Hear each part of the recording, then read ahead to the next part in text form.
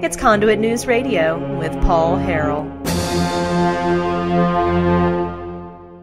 Came from Joey McCutchen, a trial attorney and government transparency advocate from Fort Smith. He's going to be on the program Thursday. I'm going to ask him about this little meeting here. He asked why the legislature did not include any provisions in Issue 1 that addressed frivolous lawsuits if they thought it was such a big problem. Ballinger responded that he thought they did because Issue 1 allows them to debate the issue more broadly in the legislature. It was the most intense part of the debate, I'm sorry, in what was the most intense part of the debate, Ballinger ended by attacking the audience on their treatment of legislators. He stated he was disappointed on how people kept beating up on legislators and that they were servants.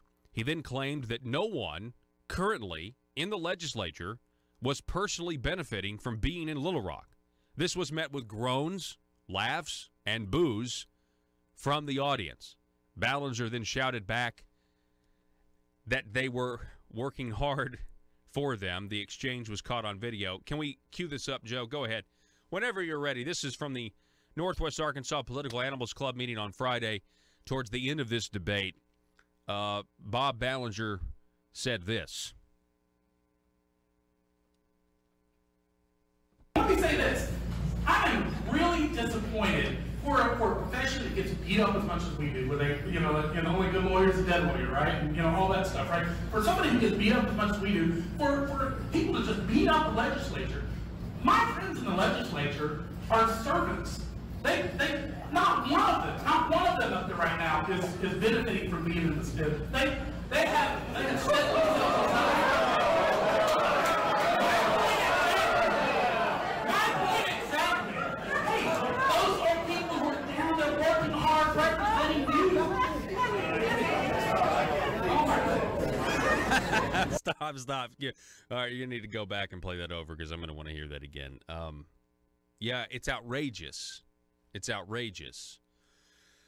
Um, of course, I want to remind everyone that State Representative Bob Ballinger was elected uh, senator. He's Senate, Senator elect Bob Ballinger, so he's going to be taking over Bryan King's spot uh, this coming January.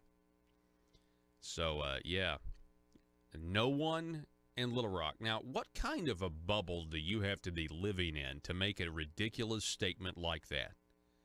That is one of the most ridiculous things I think I've ever heard in the context of what has been in the headlines on almost a daily basis.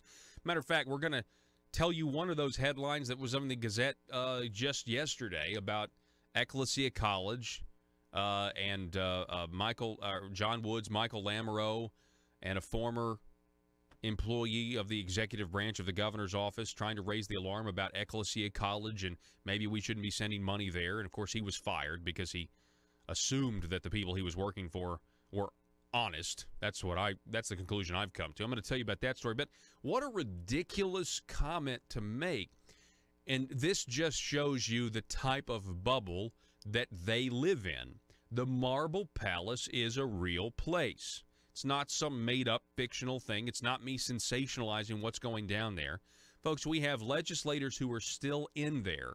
We have legislators who are still serving the people who have been implicated in taking $500,000 in bribes, who have been implicated in taking money from, uh, you know, that uh, uh, Joe Walsh guy down there from the Southern Arkansas Youth Services who pled guilty, who took a plea, who who has implicated the governor's former chief of staff, former Senator Michael Lamoureux. Okay, uh, there there are more people. You have Linda Chester, Linda Linda Chesterfield, who was mentioned, and uh, as as being somebody who was taking money from Preferred Family Health Care for about a year.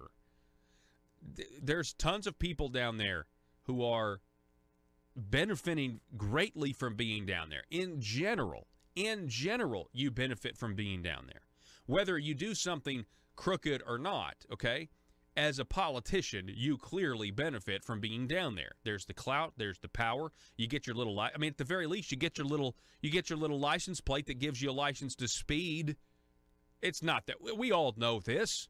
Every one of the, the, the police officers in this state know, for the most part, if if you've got a legislative plate, if you've got legislative tags that say I'm in the Senate or I'm in the House, you got a license to speed as, as, as you, can go as fast as you want. Why? Well, I got to have a, I have a meeting in the Capitol, right? I mean, everybody knows that. So that right there is, you know, of course you benefit. But how insensitive it is. I don't I, I guess Bob and the rest of them don't understand really I mean, the people of this state are injured. We have been injured by the amount of corruption that we see in the headlines every single day. And yet they want to say, they want to claim, well, we're servants. You don't feel like servants. You don't feel like servants at all. And then he gets really mad there when people start to groan and laugh at him. There should have been a little hook cane that comes off the stage left there and just yanks him off the stage. Is what uh, that might be a funny meme to make. But I mean, it was it was you know he basically gets laughed off the stage and then he says my point exactly again a disdain meaning how dare you laugh at what i'm trying to say we are the servant we are the servants yeah his tone doesn't seem very servant like does his tone seem, seem very servant like to you listen listen again joe go ahead cue this back up again this is uh, bob I am really disappointed for a, for a profession that gets beat up as much as we do, where they, you know, you know, only good lawyer is a dead lawyer, right? And, you know, all that stuff, right? For somebody who gets beat up as much as we do, for, for people to just beat up the legislature. My friends in the legislature are servants. They, they, not one of them, not one of them up there right now is, is benefiting from being in this. They, they have, they have set themselves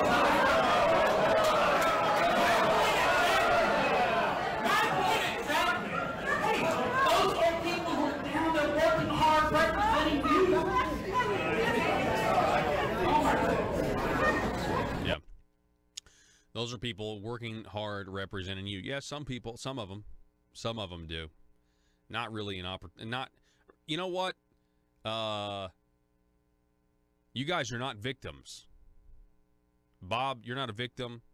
These politicians are not victims. It may be, you know, it, it, may be tempting in the world where the left thinks that everything has to be about a victim and an oppressor. Everything's about a victim and an oppressor. Politicians are not the victims. We, the people, are the victims of corrupt politicians. And instead of getting mad at the audience,